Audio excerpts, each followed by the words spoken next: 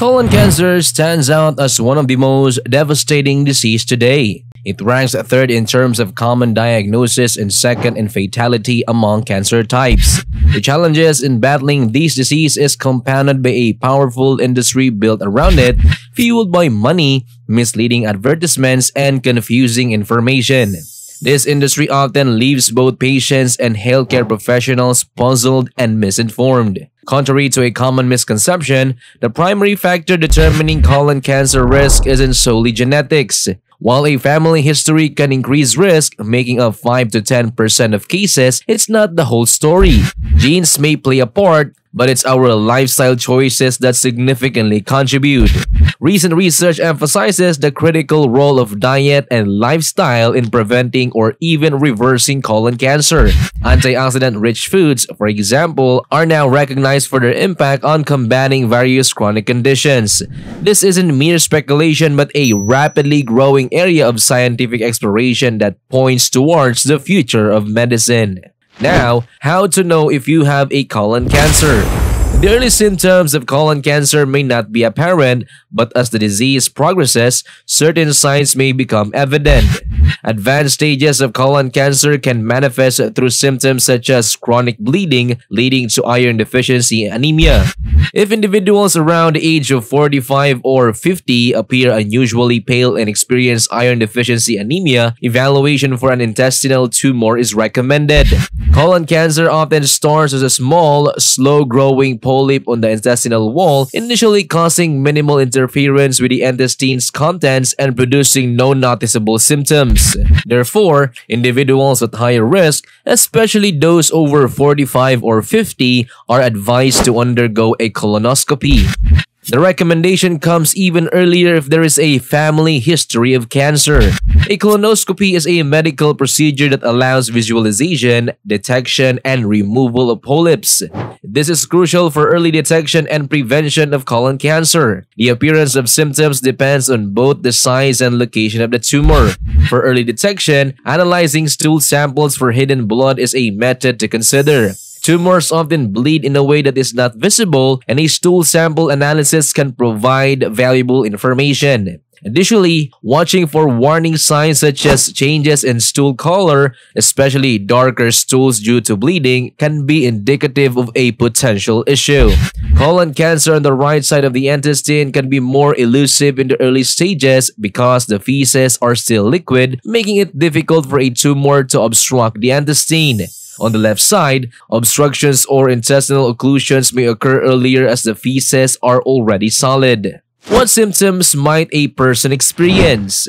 Before delving into further details about colon cancer symptoms, don't forget to subscribe to our channel and activate notifications to stay updated with our informative videos.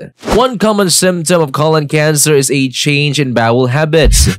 If your usual routine involves regular bathroom visits and you notice a recent increase in constipation with no bowel movements for one or two weeks, this should raise suspicion. The shape of fecal matter may also change, becoming thinner as it faces through the affected area. Alternatively, episodes of diarrhea alternating with periods of constipation can occur, leading doctors to consider a colonoscopy to check for the presence of an intestinal tumor. As the tumor advances, it can produce an image of an X-ray resembling a bitten apple. This image shows the narrowing of the intestinal lumen due to the tumor, making it difficult for feces to pass through and potentially causing visible bleeding. Unlike hidden bleeding in earlier stages, the blood in advanced stages is often bright red and visible. Stool may also appear darker due to the presence of blood.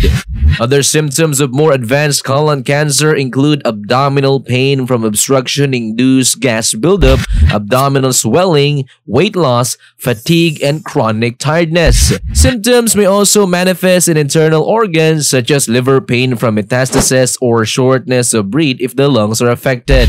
Intestinal polyps, generally benign small tumors hanging like appendages from the intestinal wall, are usually asymptomatic. The most effective way to detect them is through a colonoscopy allowing visualization and removal for lab analysis to determine if they are benign or malignant. However, a small percentage of benign polyps can transform into cancer over time. Understanding these symptoms and the importance of early detection is crucial and later in the video, we'll explore natural ways to prevent and combat colon cancer. The transformation of benign polyp into cancer is influenced by a combination of genetic makeup and lifestyle habits. Contrary to previous beliefs, our genes are not set in stone and research indicates that our dietary choices and lifestyle habits can play a crucial role in influencing gene expression. A balanced diet coupled with other healthy lifestyle habits can impact the activity of genes associated with chronic inflammation, dementia, obesity, heart attacks, and cancer. Making healthier choices can make these genes less active, while poor dietary choices and unhealthy habits can accelerate the activity of these same genes. In simple terms, unhealthy habits could speed up the growth of polyp in its eventual transformation into a tumor over time.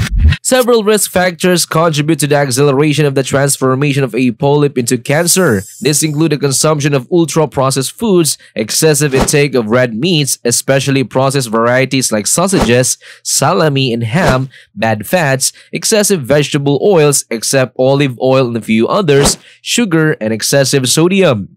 When these factors, particularly from ultra-processed foods, are combined, they act like adding fuel to the fire for tumor growth. Ultra-processed foods have been officially declared as carcinogenic. Other contributing factors to the transformation of a polyp into cancer include constipation, poor or inadequate intestinal flora or microbiota, and chronic inflammation. Additionally, habits such as alcohol consumption and smoking are known to be carcinogenic, further increasing the risk of colon cancer. Understanding and addressing these risk factors through healthier lifestyle choices is crucial in preventing colon cancer.